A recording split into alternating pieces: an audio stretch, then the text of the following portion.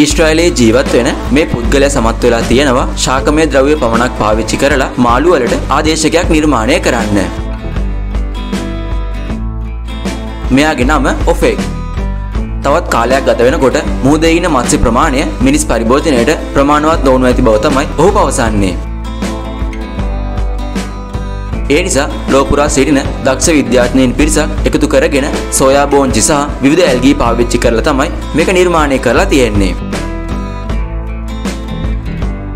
Food ප්‍රින්ටිං කියන තාක්ෂණය පාවිච්චි කරලා තමයි මේවා හදන්නේ. රසය, පෙනුම, වර්ණය සහ පෝෂණය අතිනුත් මේවා සැබෑම මාළු වලට ගොඩක්ම සමීපයි.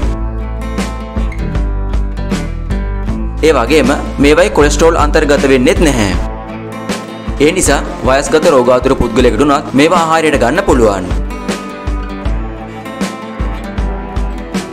මීට අමතරව මුහුදු ජලය අපවිත්‍ර වීම නිසා මාළු වලට එකතු වන රසදිය සහ මයික්‍රෝප්ලාස්ටික් වගේ දේවල් මේ තුල අන්තර්ගත වෙන්නේ නැහැ.